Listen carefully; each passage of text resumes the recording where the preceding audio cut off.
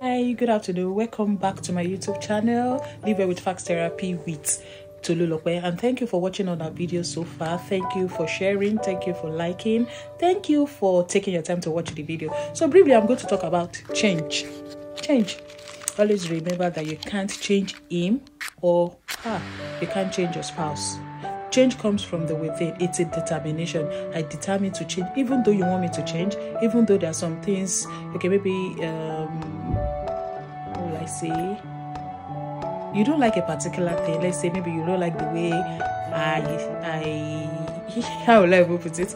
Let's, okay, let's use the common one, paste. You don't like the way I pressed my paste so it has to be a conscious effort it has i have to like determine that okay my spouse says that he does not like the way i press my paste it has to be like, be like a conscious effort for me to say that i really want to change I really want to change and I want to do what my partner is saying or asking me to do. But you just have to take it a step at a time. You, you are not just to bombard your partner that you must change, you must change, you must change. Always remember that change comes from within he or she has to determine that I want to change, I want to do this. Not that you are imposing it on that particular person, on that your spouse or that your partner. So it comes from within. Don't force it.